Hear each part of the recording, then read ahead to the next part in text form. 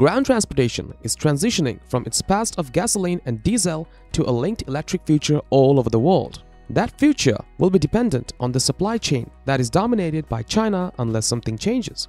China did not arrive at this position by chance. It took more than a decade of strategic as well as large-scale spending to get there. In contrast to China, which is spending billions of dollars to extend its awareness as the world's leading electric vehicle manufacturer, the United States is spending quite less. We need more than small change on the battlefield to win the economic war. To gain a competitive advantage and crush the US competition, Beijing is taking a nationwide approach by leveraging economics of scale as well as promoting national champion companies such as Huawei, BYD, and CATL. The emergence of China as the world's largest competitor has elevated this to a geopolitical concern. As a result, the United States' world-leading automobile, truck, and bus industries are a national necessity. Beijing has invested more than $100 billion in the country's EV sector, and the country hopes to take the lead in connected, autonomous, and shared vehicles in the future. By the end of 2021, Beijing intends to spend around $120 billion on autonomous and connected vehicles, or linked vehicles. In addition, over $400 billion will be spent on 5G technology. The United States government recently made $180 million available for the purchase of electric buses.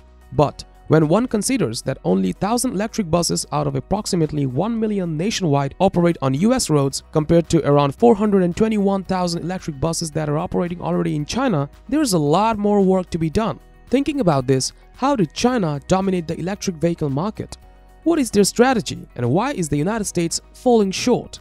China's growing leadership has always been the subject of several recent studies. McKinsey and Company published one of them earlier this year. The global consulting firm has disclosed how China has normalized the use of electric cars. While it remains a curiosity in many parts of the world, McKinsey's research includes a poll which found between 10% and 30% of Americans believe their next car would be electric. The proportion of people in Europe who lean towards an EV ranged from 40% to 60%. There was also China, where around 70% of the respondents expected to be driving an EV within the next year. Another contrast was discovered, this time by a study conducted by the Center on Global Energy Policy at Columbia University.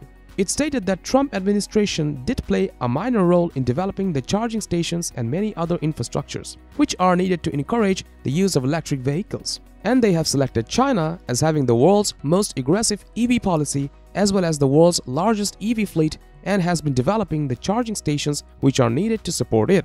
Last year, the Chinese car manufacturers sold around 1.25 million electric vehicles, representing a 62% increase over the year before. Moreover, there were also around 808,000 EV chargers in China, which include 330,000 public charging stations. I mean, this is really massive. This compares to over a half a million in the United States, with approximately 80% of those living in private homes.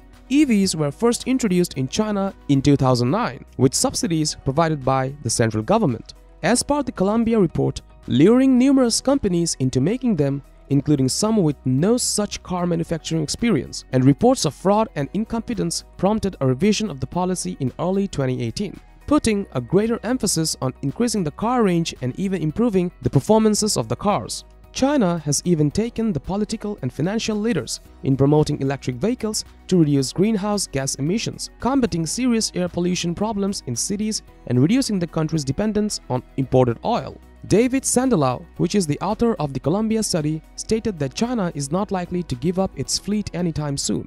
Private organizations in the United States are even aware of the fierce competition and are also doing their part to support electric and autonomous vehicles. Ford, for example, has announced plans to invest around $29 billion over the next five years. However, to compete with China's leadership, the federal government's funding in the United States must be increased exponentially. As evidenced by the passage of CHIPS for the American Act, Congress is beginning to recognize this as a bipartisan concern. This $22 billion package contains $10 billion to encourage domestic semiconductor manufacturing, but funding is still required and much more needs to be done. The federal government plays a very important role in funding basic research and development, particularly in the field of battery technology as well as encouraging cutting-edge businesses which lack access to the traditional capital markets. It also plays an essential role in trying to promote the national EV market as a national security imperative, which is something that cannot be replaced. For the United States, the advantages of China's ascent have been substantial. When it comes to exports, China ranked 11th on the list of the top 10. Direct and indirect economic relations between the United States and China account for US jobs which are approximately 2.6 million and around $216 billion in US GDP. Despite this, even in today's hyper-partisan politics, the United States leaders are united in their fear of China's economy and geopolitical ambitions. Countering China's rising power was a major focus of the Trump administration, and it will continue to be a major focus of the incoming Biden administration too. Even the arising discussions about an industrial policy to restore America's competitiveness can be heard in Congress. China has achieved success, not through the adoption of Western-style capitalism, but rather through a carefully planned combination of opening up domestic markets whilst also trying to maintain central government control over firm behavior resulting in what is often referred to as socialism with Chinese characteristics. Made in China 2025, also known as MIC 2025, is a document that outlines China's industrial policies. A multi-decade strategic plan for the manufacturing sector published in 2015, the goal is to increase China's global share of the market by emphasizing higher value goods and focusing on the development of high-tech manufacturing. China's approach to plug-in electric vehicles provides a valuable window into its industrial policy, which is widely regarded as a disruptive technology because of the internal combustion engine's decade-long dominance in transportation. Electric vehicles also provide a platform for automated vehicles, improved urban air, improved energy security, and a slower rate of global warming. EVs and their supply chain, like other important technologies prioritized under MIC 2025, have benefited from significant government support. In the year 2000, the state of Chinese research and development on lithium-ion batteries, also known as LIBs, and the electric drive system was approximately 10 years behind that of Japan, taking into account both the performance and the cost of the technology. Over the next five years, China will close that gap primarily as a result of the 836 programs.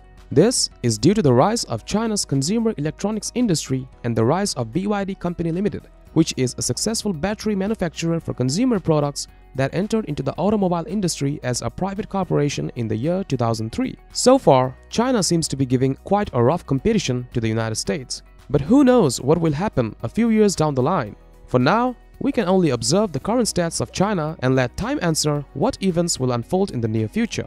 So, what is it that keeps the United States of America lagging behind China in terms of electric vehicles? Please share your thoughts down in the comment section below. Congrats on making it to the end. If you enjoyed this video, smash that like button, subscribe to the channel, and turn on post notifications to see more of our future videos. Thanks for watching guys and I look forward to seeing you in the next video. Take care.